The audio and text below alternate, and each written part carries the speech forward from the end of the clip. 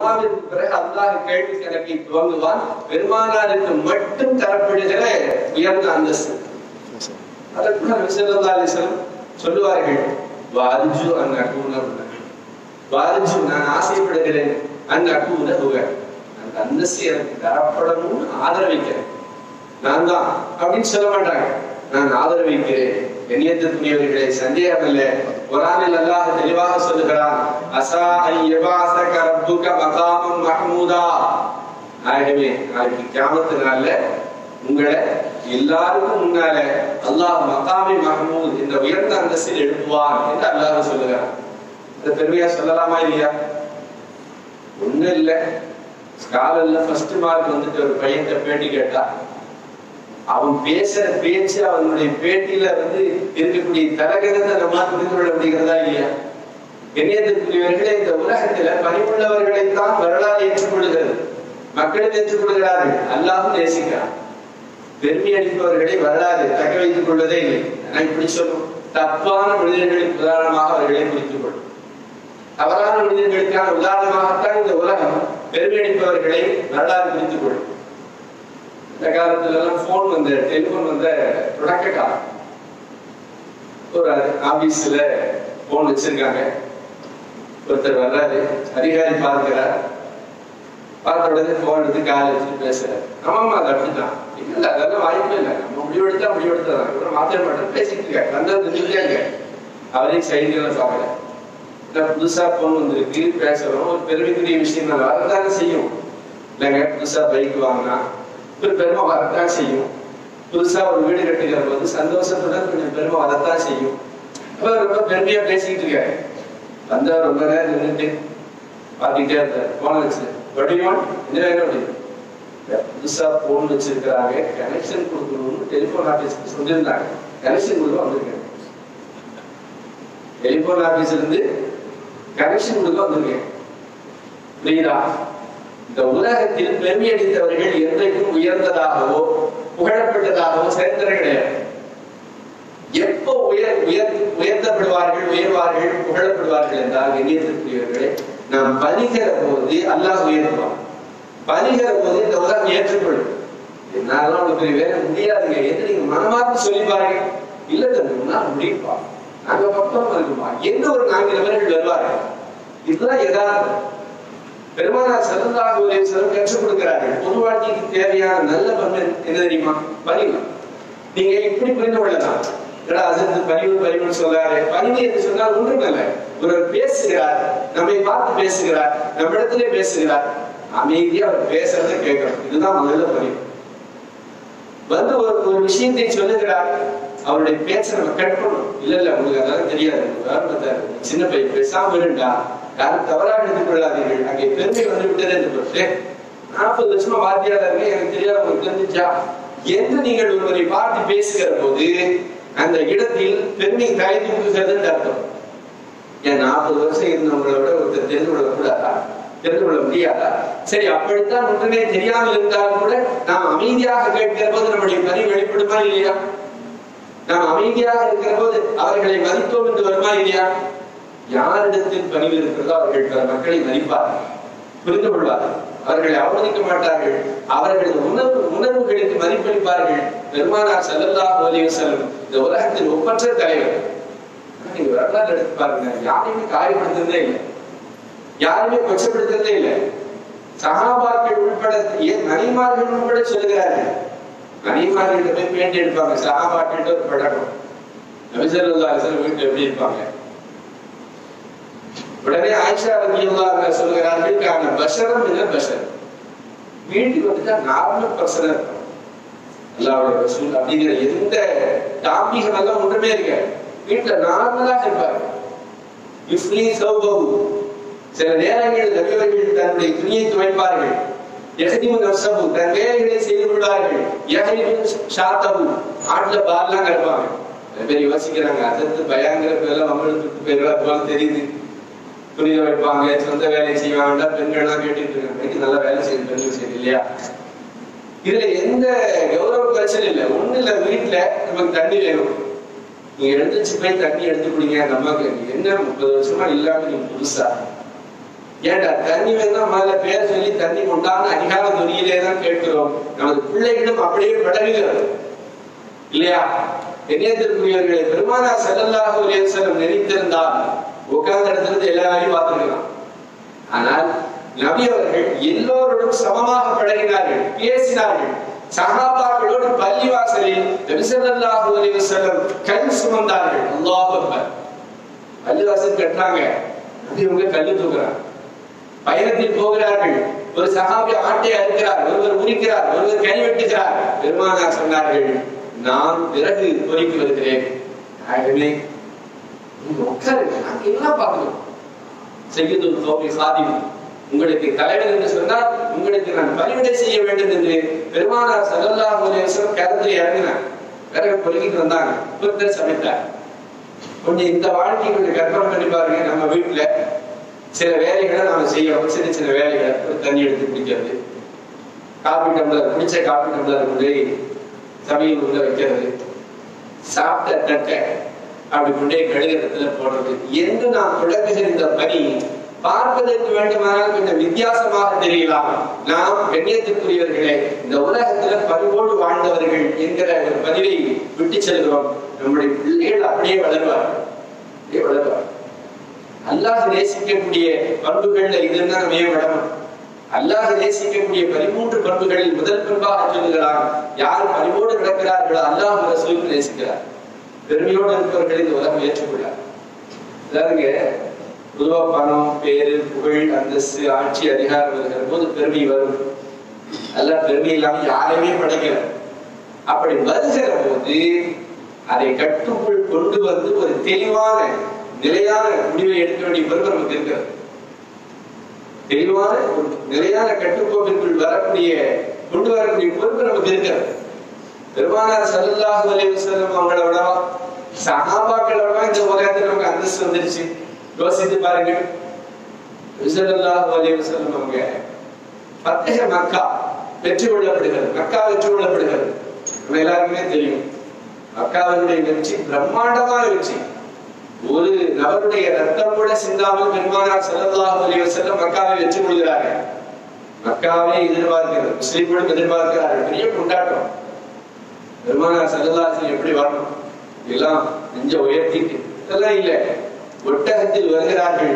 கருப்பு தலப்பாய தலப்பாகை கட்டி கொண்டு பெருமானார் ஸல்லல்லாஹு செல்லம் மக்காவிற்குள் வருகிறார்கள். எல்லோரும் எதிர்பார்த்த தோற்றம் வேறு. இவர்கள் காட்சி அளித்த அந்த காட்சி வேறு. மக்காவுக்குள்ள வரும்போது ஒட்டகத்தில் உட்கார்ந்து வருகிற பெருமானார் ஸல்லல்லாஹு செல்லம் ஒட்டகத்தோடு தன்னுடைய நெஞ்சு பகுதியை கீழே தாழ்த்தி கையை உயர்த்தி கொண்டு வருகிறார். மக்கா வெற்றி கொள்ளப்பட்டது அது மக்காவின் வெற்றி மட்டுமல்ல அரபிகள் வெற்றி மட்டுமல்ல அன்றைக்கு வாழ்ந்த முஸ்லிம்களின் வெற்றி மட்டுமல்ல கியாமனால் வரை வருகிற எல்லா முஸ்லிம்களுக்குமான வெற்றிதான். இருந்தாலும் இந்த வெற்றி என்னுடையது அல்ல. அல்லாஹ் அறிவோட நெஞ்சு எழுதுகிறார்கள். ஒட்டகத்தின் முதுகோடு பெருமானாருடைய முபாரக்கான நெஞ்சு பகுதி ஒட்டி கொண்டதை கையை உயர்த்தி கொண்டு வருகிறார்கள் என்றால் இந்த உலகம் மக்காவினுடைய வெற்றியை படிக்கிற போதெல்லாம் பெருமானாருடைய பதிவை மறக்க முடியாது. பொதுவா ஒரு வெற்றிங்கிறது எப்படி இருக்கும்? தற்போது தேர்தல் வெற்றிங்க பாருங்க தெரியும். இருபத்தி மூணாம் தேதியா? வெற்றியை பாருங்க. பட்டாசு என்ன மேலம் என்ன தாளம் என்ன லட்டு என்ன ஜிலேபி என்ன எல்லாம் பறக்கும். ஆனால் பெருமானார் ஸல்லல்லாஹு அலைஹி செல்வர்கள் வெற்றியை கொண்டாடுகிறார்கள் பணிவுடன் வெளிப்படுத்துகிறார். இணையத்திற்குரியவர்கள் அதுதான் இந்த உலகத்தை இன்றைக்கு வரைக்கும் இஸ்லாமிய மார்க்கத்தை இந்த உலகத்தில் இன்றைக்கு வரைக்கும் தலைத்தோங்க செய்திருக்கிறார். கியாமத் நாள் வரைக்கும் இஸ்லாமிய மார்க்கத்தை பற்றி பேசுகிறார்கள்? நிறைய புகழ். இங்க பாருங்க பொதுவாக பொது சமூகத்துக்கு போகிற போது இஸ்லாமிய மார்க்கத்தை பற்றி நிறைய சிறப்பு சொல்லுவாங்க. பெரியவங்க சொல்லணும். ஆமா ஆமா அப்படின்னு பெருமையா சொல்லக்கூடாது. மார்க்கத்தில் இயற்கையா இருக்குது. எல்லாருக்கும் பொதுவானது தான் அவர்களையும் அரவணைத்துக் கொள்ள வேண்டும். குரானை பற்றி இஸ்லாமிய மார்க்கத்தை பற்றி பெருமையாக பேசுகிற போது நமக்கு பெருமைதான் சந்தோஷம்தான். அவர்களையும் அரவணைத்துக் கொள்ள வேண்டும். நீங்களும் எங்கள் சகோதரர்கள் தான் வார்த்தை சொல்லணும் பேசுகிற போது நாம் பெருமை அடிக்காமல் நீங்களும் சகோதரர்கள் தான் என்று சொல்லுகிற போது கண்ணியத்திற்குரியவர்களே இந்த உலகத்துல இஸ்லாமிய மார்க்கத்தினுடைய தனிச்சிறப்பை நாம் மக்கள் மனதில் விதை விதைக்கிறோம் என்று அப்போ முதல் தன்மையாக அல்லாஹ் சொல்லுகிறான். அல்லாஹினுடைய விசேஷமான அடியார்கள் பணிவோடு இருப்பார்கள். பணிவுன்னு சொல்லும் போதே நம்ம பெருமையை விட்டுட்டு போக முடியாது இல்லையா? அறிவை பத்தி பேசும்போது இந்த பெருமையை விட்டுட்டு நாம் அந்த பக்கம் நகர முடியாது. எண்ணியத்திற்குரியவர்களே பெருமை இந்த உலகத்துல எவ்வளவு அபாயகரமான விஷயம் என்று சொன்னால் எவ்வளவு உயரத்தில் இருந்தாலும் சரி அறிவின் சிகரமாக இருந்தாலும் சரி ஆட்சி உயரத்தில் இருந்தாலும் சரி பெரிய பிரம்மாண்டமான செல்வத்துக்கு சொந்தக்காரர்களாக இருந்தாலும் சரி எப்ப பெருமை வருதோ நீங்கள் எழுதி வைத்துக் கொள்ளுங்கள். அப்பவே உங்களுடைய சாம்ராஜ்யம் விழுக ஆரம்பிச்சிச்சுன்னா குரான் எல்லாருக்கும் நல்ல உதாரணம். எல்லாருக்குமே தெரிஞ்ச செய்தி தான். ஆதம் அலிஸ்லாம் அவர்கள் படைக்கப்படுகிறார்கள். எல்லாரையும் சஜிதா செய்யுங்கன்னு நல்லா சொன்னா எல்லாரும் செஞ்சாங்க ஒரு நல்ல தவிர யாருங்க? இப்லீஸ் இல்லையா அவன் சஜிதா செய்யாத காரணத்தை சொல்லி அல்லாஹ் சொல்லுகிற போது அபா அஸ்தக்பர. அபா சஜிதா செய்ய மறுத்தான். அஸ்தக்பர பெருமை அடித்தான் அல்லாஹ் சொல்றான் அபா அவன் சஜிதா செய்ய மறுத்து விட்டு பெருமை அடித்தான் அப்போ மலக்குகளுக்கெல்லாம் ஆசிரியனாக இருந்த சைத்தான் எவ்வளவு தூரம் ஆகிவிட்டார் என்று சொன்னால் இன்னைக்கு நம்ம ஒவ்வொரு முறையும் தொழுகையில குரால ஓதும் போதெல்லாம் அவுது பில்லாகி மின ஷைத்தான் ரஜீம் தூக்கி எறியப்பட்ட ஷைத்தானிடமிருந்து நாங்கள் பாதுகாப்பு தேடுகிறோம் இல்லையா? இவ்வளவு தூரம் அவமானத்திற்கும் புறக்கணிப்பிற்கும் காரணம் என்ன? ஷைத்தான் வந்து பெருமைதான். நாம் என்னால் அப்படிங்கிற பெருமை இருக்கிறது ஒரு மனிதனை என்றைக்குமே இந்த உலகத்தின் நல்லவனாக அடையாளம் காட்டவே செய்ய நீங்க எந்த துறையெல்லாம் எடுத்து பாருங்க வளர்ந்தவர்களை பாருங்க. அவர்களின் பணிவுதான் அவர்களுக்கான அடையாளமாக இருக்கும். பெருமை அடித்தவர்கள் இந்த உலகத்தில் இருந்ததாக வரலாறே கிடையாது. பல இடங்கள் அதான் சொல்றான். சொன்னா சொன்னான் நான் தான் பெரிய கடவுள் என்று சொன்னான். இன்றைக்கு எகிப்தினுடைய மியூசியத்துல கெட்ட மனிதர்களுக்கான அடையாளமாக பிறவனுடைய உடல் பாதுகாக்கப்பட்டிருக்கிறது இல்லையா? நம்மளும் சொன்னார் நான் வகையோமி நான் உயிரோடு எழுப்புவேன் நான் மரணிக்க செய்வேன் என்று பெருமை எடுத்தான் அவரையும் அல்லாஹ் தால கேவலமான முறையில் மரணிக்க செய்தார். சாதாரண நுண்டி கொசு. அது உள்ள போய் உள்ள போய் படஞ்சி படுத்திய பாடு அவர் இறந்து போனார் என்று வரலாறு அப்படி நம்முடைய நடைமுறை வாழ்க்கையில நம்முடைய வீடுகளிலும் சரி பொது இடங்களிலும் சரி பொது வாழ்க்கையிலும் சரி நான்கு நபர்களோடு பேசுகிற போது அவர்களை மதிக்க வேண்டும் அவர்களது உணர்வுகளை புரிந்து கொள்ள வேண்டும். ஒருவேளை தப்பாவே பேசினாலும் கூட ரொம்ப நாசுக்கான முறையில் அவர்களை நாம் அணுக வேண்டும். ஏன்னா சில நேரங்கள்ல நம்மை விட அறிவாளிகள் நிறைய பேர் இருக்கிறார்கள். ஒரு எழுத்தாளர் ஒரு புத்தகத்தை எடுக்கும் எப்படி திரும்ப எடுக்கிறோம்? அவர் எழுத்தாளர் தான். ஆனா இந்த புத்தகத்துல எனக்கு தேவையான ஒரு செய்தி எழுதியிருக்க வாய்ப்பு இருக்கிறது நினைக்கணும் எனக்கு தெரியாத ஒரு செய்திகள் எழுதியிருக்கலாம் இவன் நினைக்கிற போது அந்த புத்தகத்தை வாசிக்க வாசிக்க இவனுக்கு பக்கம் பக்கமான முறையில் ஒரு ஞானம் கிடைக்கலாம். தெரியாத விஷயங்களை தெரிந்து கொள்ள வாய்ப்பு இருக்கு. அல்லாஹ் அந்த ரசீமை தருவாங்க எனக்கு தெரியும் எனக்கு யாரும் சொல்ல தேவையில்லை. எப்ப நினைக்கிறானோ அப்பொழுதே அவனுடைய அறிவு அறிவின் கதவு மூடப்பட்டு விடுகிறது. யூதர்கள்ட்ட பெருமானார் செல்லல்லா சிலாத பத்தி சொல்றாங்க. முதல்ல யூதர்கள் எது சொன்னா தெரியுமா? நீங்க சொல்றீங்க குழுப்புனா நீங்க உள்ள போதான் நிறைஞ்சிருக்கு மூடப்பட்டு நீங்க சொல்ற எதுவுமே உள்ள போக மாட்டேங்குதுதான் யூதர்கள் பெருமான செல்லல்லாஹு அலைஹி வஸல்லம் இடத்திலே நீங்க சொல்றீங்க எல்லாம் அப்படியே திறப்படப்படும் காலத்துல வந்து ஆனா உள்ள ஒண்ணுமே போக மாட்டேன் எவ்வளவு திமிரான பேச்சு. அல்ல என்ன சொல்ல தபால்லாஹு அலைஹி. அவங்க உள்ளமெல்லாம் மூடப்படல. அவர்களின் பெருமையின் காரணத்தினாலே சத்தியத்தை எடுத்து சொல்லுகிற போது அவர்களுக்கு விளங்காமல் அல்லாஹ் ஆக்கினான். அவர்கள் மட்டும் கொஞ்சம் பணிவாக இருந்திருந்தா இதாகி கிடைச்சிருக்கும் இன்றைக்கு யூதர்கள் முஸ்லிம்களாக மாறி இருப்பார்கள். அன்றைக்கு தொடங்கிய பெருமை இன்றைக்கு வரைக்கும் இன்றைக்கு வரைக்கும் இஸ்லாமிய பாருங்க எல்லாம் உண்மைதான் ஏற்றுக்கொள்ள மாட்டார். கணியத்திற்குரியவர்கள் அப்படி என்றால் நம்முடைய அன்றாட வாழ்க்கையில அல்லாஹுக்கு விசேஷமான அடியார்களாக மாறுவதற்கான சிறப்பான வழி இருந்தால் நாம் மனிதர்களை மதிக்க வேண்டும் உணர்வுகளை புரிந்து கொள்ள வேண்டும். அன்றாட வாழ்க்கையில அவர்களும் நமக்கு சமமானவர்கள் என்று ஏற்றுக்கொள்ளும் மேராஜுக்கு போறாங்க. மேராஜுக்கு போகிற போது உமரதி அல்லாஹ் அருவருடைய மாளிகை பார்க்கிறார்கள். அழகான மாளிகை. நல்ல அழகான மாளிகை. உள்ள ஒரு பெண் பொது செய்து கொண்டிருக்கிறார்கள். யாருடைய மாளிகை? உமரதி அல்லாஹ் புரியுது. உள்ள போய் பார்க்கலாம்னு ஆசைப்பட்டேன். நவியவங்க சொன்னாங்க உள்ள போய் பார்க்கலாம்னு ஆசைப்பட்டேன். ஆனா உமரதி அல்லாஹ் ரோஷக்கர் அவருடைய பொருளை அவருடைய அனுமதி இல்லாம யாரும் பயன்படுத்துறது விரும்ப மாட்டேன். நபியர்கள் சொல்லுகிறார்? உலகத்திற்கு வந்த பிறகு மேராஜுக்கு போயிட்டு வந்த பிறகு விசரல்லாஹ் அலைவசம் சொன்னாங்க இந்த செய்தியை. இப்ப மாளிகையை பார்த்தேன். அழகா இருந்துச்சு. உள்ள போகணும்னு ஆசைப்பட்டேன். நான் தக்க உயிரை தக்க. உங்களுடைய கோஷத்தை நினைச்சு பார்த்து நீங்கள் உள்ள போகிறேன் பரதியில்லாம் யார் சொல்லலாம் மற்றவர்களிடத்தில் நான் அப்படி ரோஷமாக உங்கள்கிட்ட அப்படி இருக்கிறாங்க நீங்க நினைக்கிறீங்க?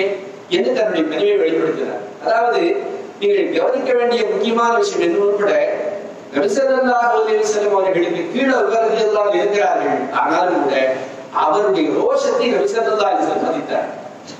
அதுக்கு மதிப்பு கொடுத்து நபியவங்க அந்த மாளிகைக்குள்ள போகல. போயிட்டு வந்தா அவங்க சொல்ல போறது இல்லை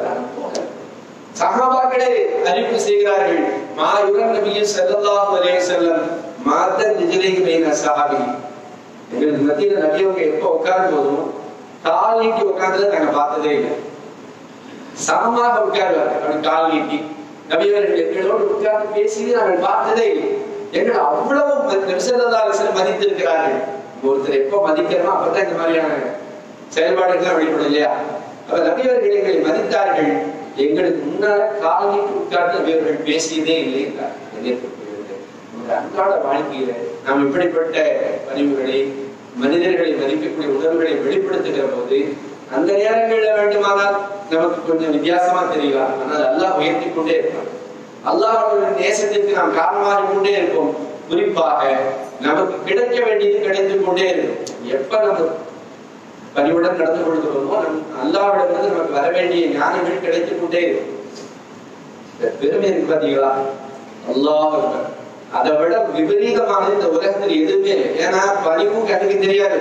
பெருமையும் கண்ணுக்கு தெரியாது. சில பேர் எவ்வளவுதான் ரொம்ப பணிவா இருக்கும் அப்படிங்கிறது பெரிய பெருமையா இருக்கு. நான் பணிவோடு நடந்து கொள்கிறேன் என்பது ஒருவர் சொல்லுகிற போது மனதில் அவருக்கு வருகிற எண்ணம் பெருமையாக இருந்தால் அது பெருமையோட பெரிய ஆபத்தான விஷயம் அப்ப நாம் நம்முடைய மனதை நம்முடைய அந்தரங்கத்தை நம்முடைய உள்ளத்தில் ஏற்படுகிற இந்த உணர்வுகளை கொஞ்சம் பரீட்சை செய்து பார்க்க வேண்டும். என்னுடைய உள்ளத்தில் என்ன வருது? ஒரு வியாபாரத்தில் வெற்றி அடைகிறோம். என்ன வருகிறது? பெருமானார் சரதாதி சிலர்கிட்ட கேட்கிறார். பைவன் என்ன பெருமைன்னு என்ன அபியவர்கள் சொன்னார்கள் பெருமை என்று சொன்னால் பத்தருடைய ஹக்கி பக்தும் நாஸ் உண்மையை மறுப்பது மக்களை மட்டமாக கருதுவதுன்றார் அல்ல அந்த தீய பண்பை விட்டு நம்ம எல்லோரையும் பாதுகாப்பாங்க எவ்வளவு அபாயம் தெரியுங்களா? எங்க அப்படி இல்லைங்க சட்டம் உங்களுக்கு எல்லாம் ஒண்ணும் தெரியாது. எனக்கு எல்லாமே தெரியும் ஒருத்தர் நினைச்சாருன்னா அவர் சத்தியத்தை விட்டு விலகி விட்டார் என்று பொருள். சத்தியத்தை மறுக்கிறார். மக்களை மட்டமாக கருதுவது இது பெருமை என்றார்கள் பெருமானார் சொல்லலாம் ரொம்ப அபாயகரமான ஒரு வெண்ணியத்திற்குரியவர்களே நிறத்தாரவும் முடியாதோ. தன்னுடைய முடி ரொம்ப பெருசு தான் பலம் என்று நினைக்கிறார்.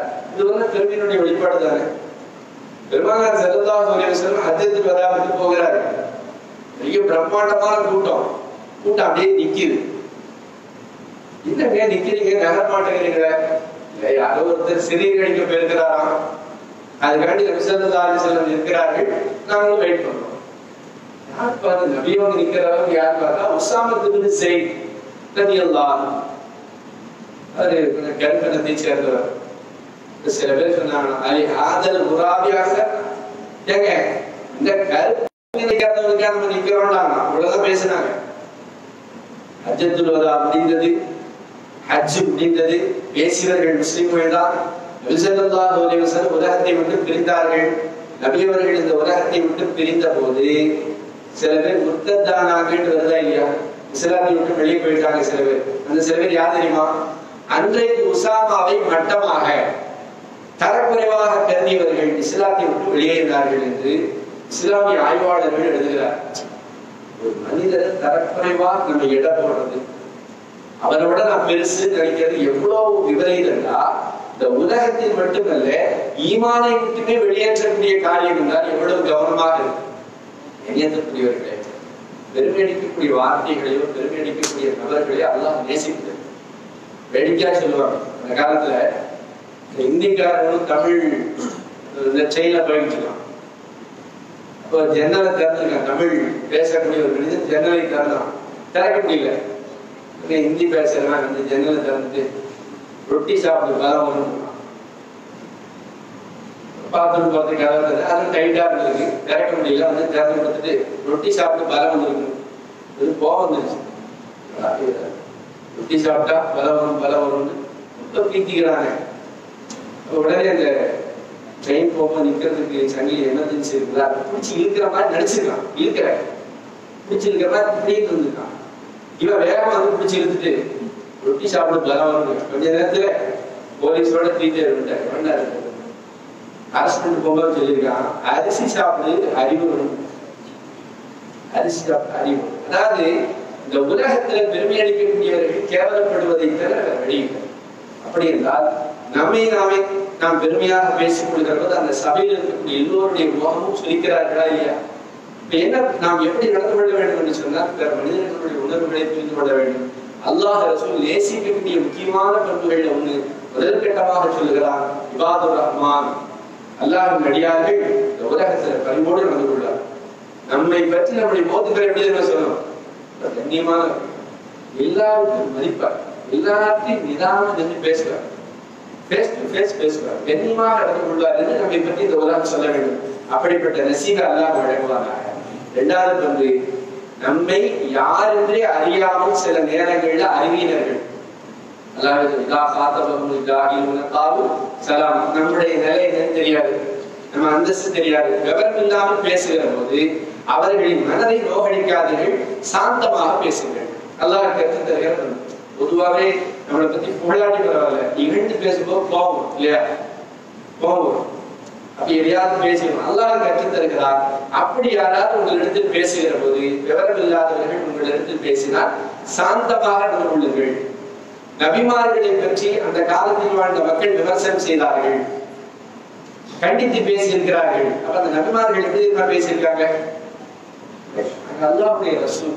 உண்மையை தான் சொல்றோம். நீங்க சொல்ல மாதிரி நாங்க வந்து பைத்தியக்காரர்களே கிடையாது. நீங்கள் சொன்னதை போல நாங்கள் வெளியேற்றவர்கள் கிடையாது என்று அவர்களுக்கு கண்ணியமான முறையில் பேசியிருக்கிறார்கள். கண்ணியத்திற்குரியவர்களே நம்மை பார்த்து யார் எப்படி பேசினார்கள் கோபப்படுத்தும்படியாக பேசினார்கள் கண்ணியமான முறையில் நம்முடைய பதில் அமைகிற போது அல்லாஹுடைய நேசர்களாக மட்டும் மாறுவதில்லை. அடியார்களும் நேசிக்கிறார்கள். அரசியல் பிரச்சார நேரங்களில் நிறைய விமர்சனங்கள். இந்த விமர்சனத்திற்கு பதில் தருகிற போது ஒரு சர்வே எடுக்கிறார்கள். அரசியல் விமர்சனங்களுக்கு பதில் அளித்தவர்களில் முதலிடம் இவருக்கு இரண்டாவது இடம் இவருக்கு கடைசி இடம் அவருக்கு. ஏன் முதலிடம் அவருக்குண்டா அவரை பற்றி வந்த பல விமர்சனங்களுக்கு ரொம்ப கண்ணியமான வார்த்தைகள்ல தடித்த வார்த்தைகள் இல்லாமல் கட்சியான வார்த்தைகள் இல்லாமல் நாகரிகமான வார்த்தைகளில் பதில் கொடுத்தார்.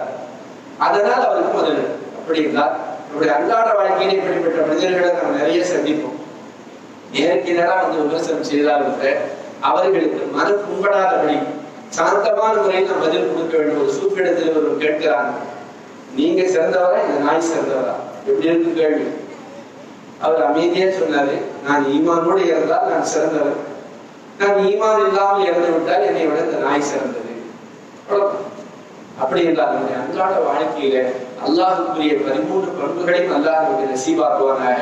அது தொடக்க பண்பாக பணிவையும் மற்ற மக்களை புரிந்து சகஜமான மனநிலையில் மற்ற மக்களை புரிந்து அவர்களது தனித்த தனித்தன்மைகளை மதித்து நடக்கக்கூடிய நன்மக்களாக அல்லாஹ் நம்மை ஆக்குவானாக அதே போல நாம் எதிர்கொள்ளக்கூடிய விமர்சனங்களை மற்ற மக்களுடைய பேச்சுக்களை கண்ணியமான முறையில் அணுகக்கூடிய நல்ல நசீபை அல்லாஹ் நம் எல்லோருக்கும் வழங்குவானாக ஆமீன் வாக்குதாவான அல்ஹம்துலில்லாஹி ரப்பில் ஆலமீன் அஸ்ஸலாமு அலைக்கும் வரஹ்மத்துல்லாஹி தஆலா வபரகாத்துஹு